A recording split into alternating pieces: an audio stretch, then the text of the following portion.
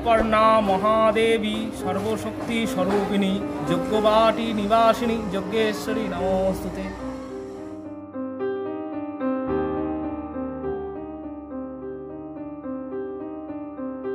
চলে এসেছি যজ্ঞবাটি মহাশ্মশান। এখানে মা কালীর মন্দির রয়েছে, আশ্রমও রয়েছে।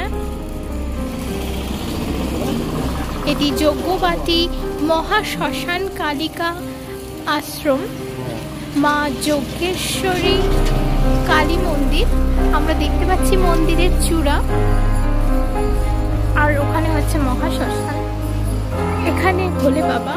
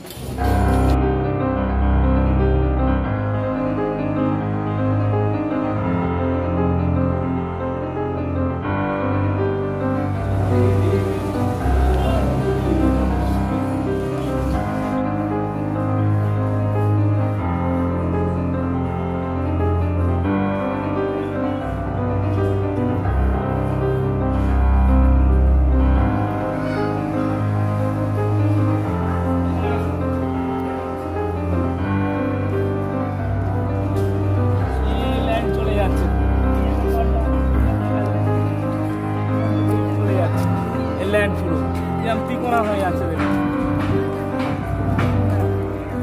সীমানা এটা। করো এইটা। এইটা ছিল পরে সিমেন্ট দিয়ে ঢালাই করে দেওয়া হয় বলে এটা এইটা, এখানে তো লেখা আছে।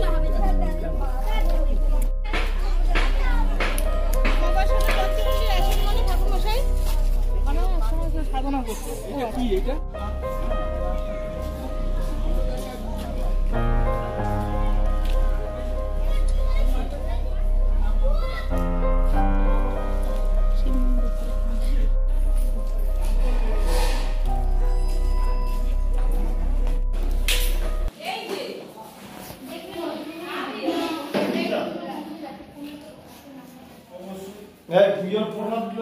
মানে এই অধিষ্ঠাত্রী দেবী মা যজ্ঞেশ্বরী, ইনি হচ্ছেন, এটা শ্মশানে পূজিতা, শ্মশানকালী বলা হয়, কিন্তু ইনি কিন্তু দক্ষিণাকালী রূপেই ওনাকে পূজা করা হয়।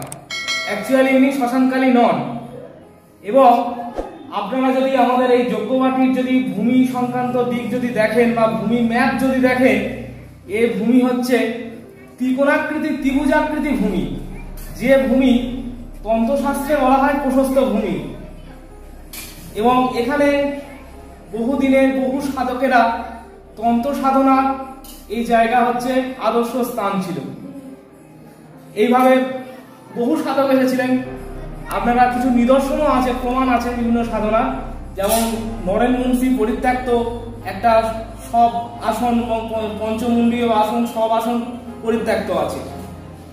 এখানে এই মন্দির, মা যজ্ঞেশ্বরীর মন্দির হচ্ছে নবনির্মিত মন্দির। এই মন্দির হচ্ছে দু সালে এই মন্দির প্রতিষ্ঠিত হয়েছে। এর আগে পুরানো কালীর চালের আটচালা মন্দির ছিল এবং তারও আগে ঐতিহাসিক মন্দির ছিল।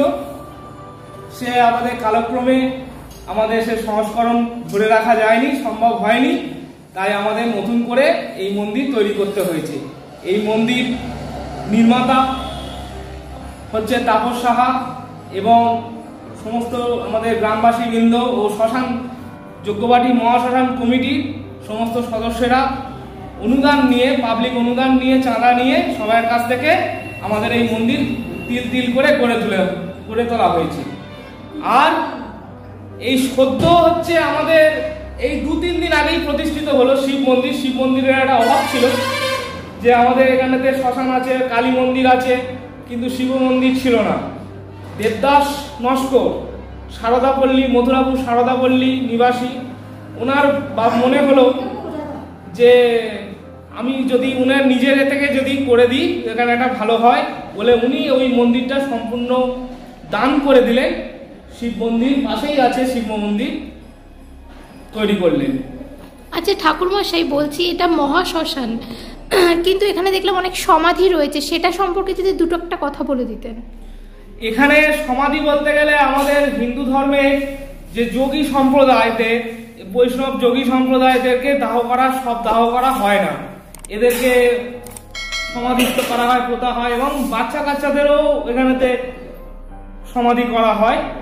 এদেরকেই হচ্ছে জন্য সেই তাদের স্মৃতি উদ্দেশ্যে এবং তাদের গুরুকুল উদ্দেশ্যে এখানেতে বহু সমাধি রয়েছে।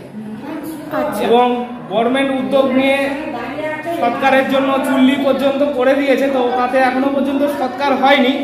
কিন্তু এই সমাধি প্রথা এবং এই রীতি এখন প্রচলিত আবহমান কাল ধরেই রয়েছে। আচ্ছা।